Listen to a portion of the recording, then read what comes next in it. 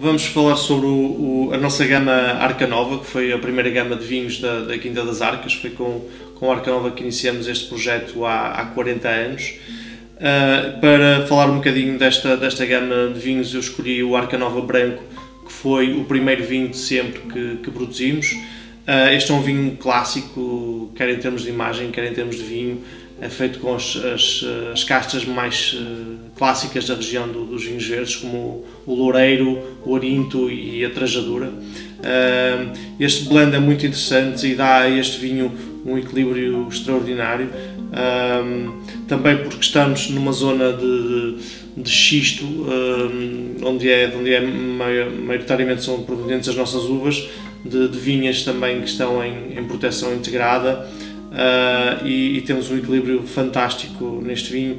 As uvas alcançam um ponto de, de maturação excelente também nesta, nesta zona uh, e que dá ao, ao vinho.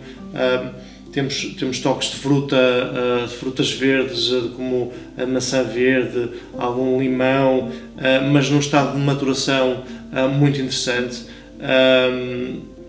e é um vinho que, que tem um equilíbrio na boca também fantástico.